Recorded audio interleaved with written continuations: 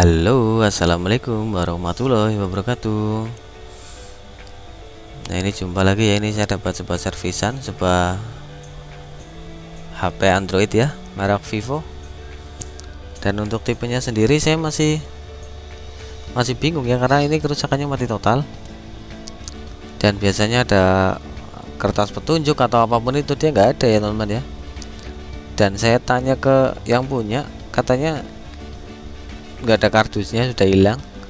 Terus lupa juga teman-teman ya. Aduh terus gimana ini teman-teman? Padahal untuk analisa butuh apa ya diagramnya? Harus sesuai tipe teman-teman ya.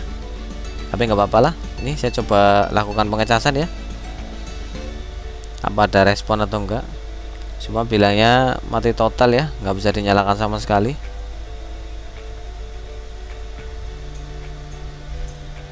Oke berasa saja teman-teman ya. Jadi memang tidak ada respon sama sekali. Indikator buat pengecasan pun nggak nyala ya. Wow. Sudah tipenya nggak ada. Mati total pula. Aduh. Tapi tetap jangan menyerah ya teman-teman ya. Lakukan yang terbaik ya. Siapa tahu rezeki dan lanjut teman-teman. Bongkar HP-nya ya. Nggak pakai lama.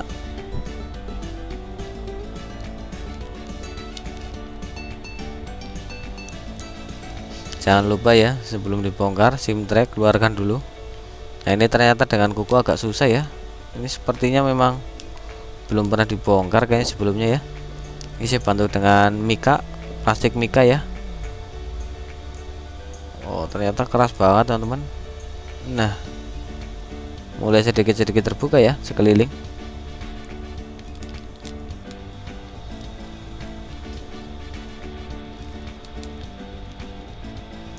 Oke sudah terbuka teman-teman. Alhamdulillah ya. Oh benar sekali. Dia masih original masih segelan. Tapi jangan serang dulu ya. Terkadang masih segelan pun belum tentu cuan teman-teman. Yang penting kita coba ya. Jangan menyerah sebelum berperang. Nah ini saya bingung ya mau bahas apa karena saya juga nggak tahu tipenya.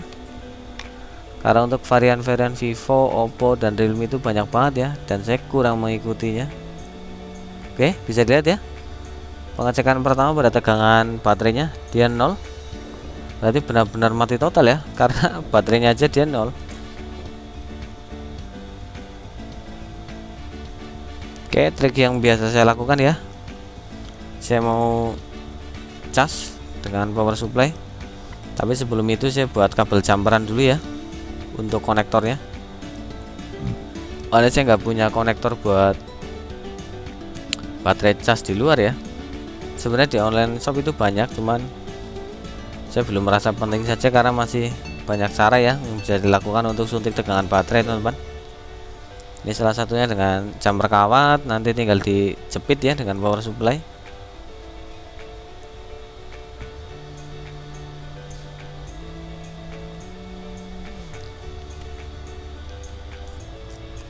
Oke, sudah selesai tinggal potong ya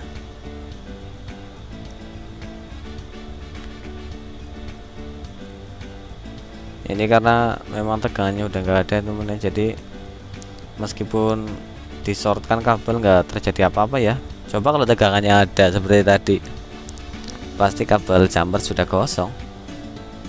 Karena ini ampernya lumayan gede ya sekitar berapa ini? 4000 atau 5000 kalau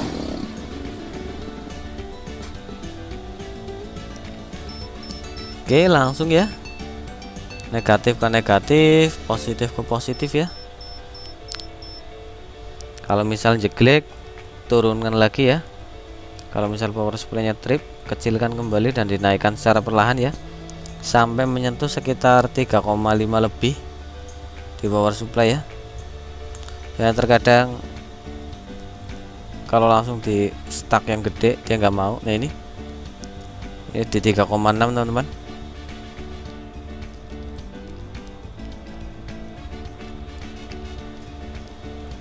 Oke ini saya sudah cas ya sekitar 20 menitan. Alhamdulillah muncul 3,6 berarti asumsi dari baterai dia masih normal ya masih nyimpan. Sekarang lepas kawat jamperan ya. Saya mau coba testing. Apa ada tanda-tanda kehidupan teman-teman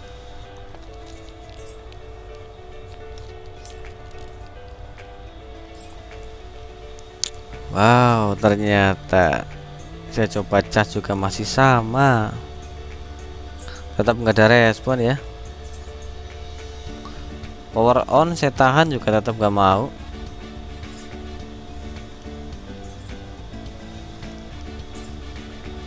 Oke tetap nggak ada perubahan ya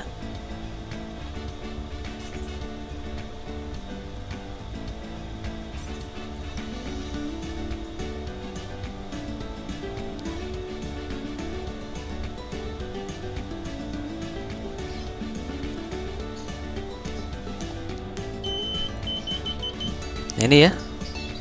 Sekarang saya mau cari di bagian untuk pin positifnya ya. Ini saya nyari positif buat mainboard di bagian mana ya. Karena saya mau coba jumper. Karena saya mau nyalakan dengan power supply ya. Agar bisa dilihat konsumsi arusnya itu berapa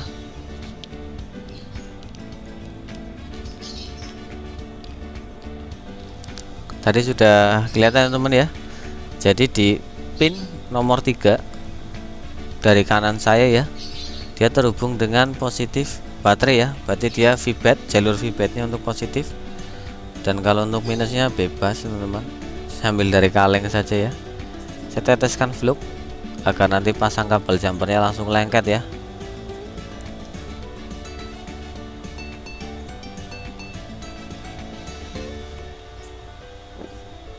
Oke ini saya pasang kabel jumper ya?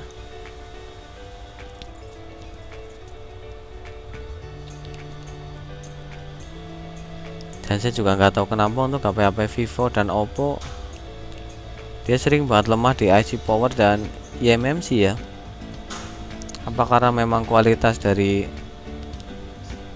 partnya atau gimana saya kurang tahu juga ya. Nggak bisa lihat teman-teman ya. Saat ditekan dia naik lalu pas lepas dia turun ya. Pas ditekan dia naik lepas turun ya. Aduh lemas guys. Ini asumsi saya ada di IC power ya. Analisa pertama saya langsung menuju ke IC power karena nggak ada respon. Saya ditekan dia naik tapi dia tidak meneruskan ya. Tidak bekerja meneruskan ke CPU dan lain-lain ya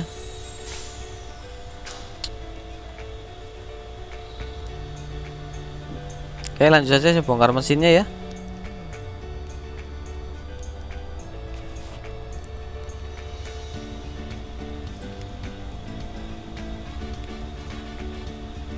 Saya mau cari dulu IC powernya itu letaknya di mana teman-teman. Karena untuk HP-HP Vivo kaleng menutup IC itu dia langsung paten ya. Berbeda tidak seperti kayak di Samsung terkadang dia masih bisa dicongkel bagian atasnya jadi nggak permanen kalau dia langsung disolder dan kokoh ya. Permanen disolder ya jadi agak ribet untuk pencarian komponen harus dibongkar semuanya ya berputar. Karena kalau hanya dicongkel sebagian takutnya jalurnya keangkat malah nanti ribet ya.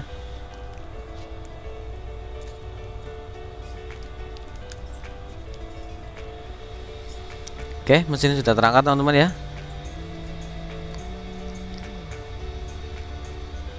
Oke dan setelah saya analisa ya ketemu ya teman-teman ya. Ini penutup paling sudah saya buka. Ini saya persingkat waktu ya agar tidak terlalu panjang durasi videonya. Nah ini teman-teman ya. Chip untuk kasih powernya dia menggunakan MediaTek teman-teman ya. MT 6357 MRV teman-teman. Ini kalau di online shop banyak ya cuman kebetulan saya nggak punya stok ini saya mau iseng-iseng berhadiah ya. Saya coba rehot. Apa ada perubahan atau enggak?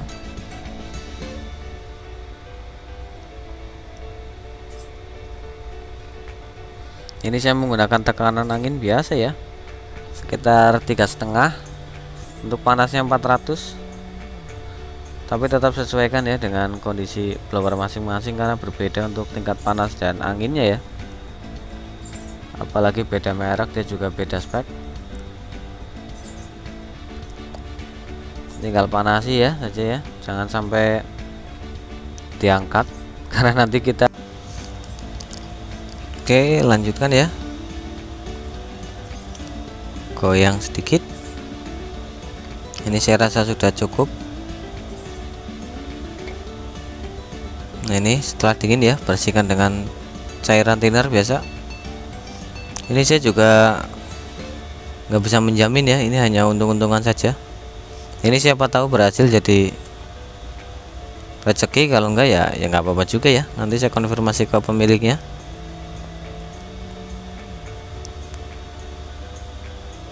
Oke saya cek dengan power supply ya. Gimana untuk hasilnya